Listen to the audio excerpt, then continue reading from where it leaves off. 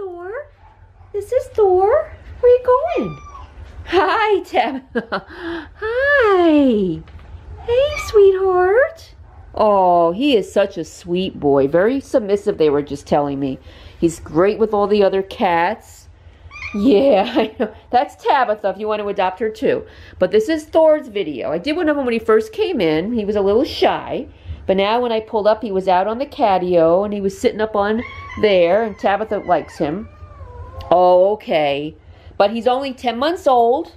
He is a, an adorable, adorable orange tabby boy. He's got matching eyes. He just looks like a little boy. Look how cute he is.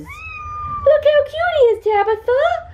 And he's so loving and so sweet. He's like your typical sweet, mellow, loving orange tabby. I mean, they're just such loving boys.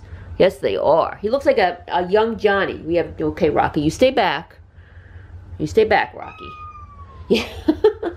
this is Thor's video. Yes, it is. We had to get a new one on him. He was, like I said, he was a little shy when he first got here. He's been here for, I think, almost two weeks now. And he's really working really hard to adjust to shelter life. Yes, you want to come on my lap, don't you? Yeah, I think he's probably a lap cat. Rocky, you be nice. Aww. Yeah, so come in and get this guy. He's so sweet. He's very submissive and very gentle. Um, very loving. There's Johnny. They look like they could be related. Johnny looks the same except for he's five. He's five. And you're 10 months.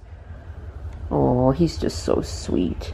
So if you're looking for a very sweet, loving, friendly cat that's going to get along great with whatever cats you have at home, then I think Thor is definitely the guy for you. I think he wants to sit on my lap. He's very sweet. Oh, honey. You want to sit on my lap, don't you? Oh, okay.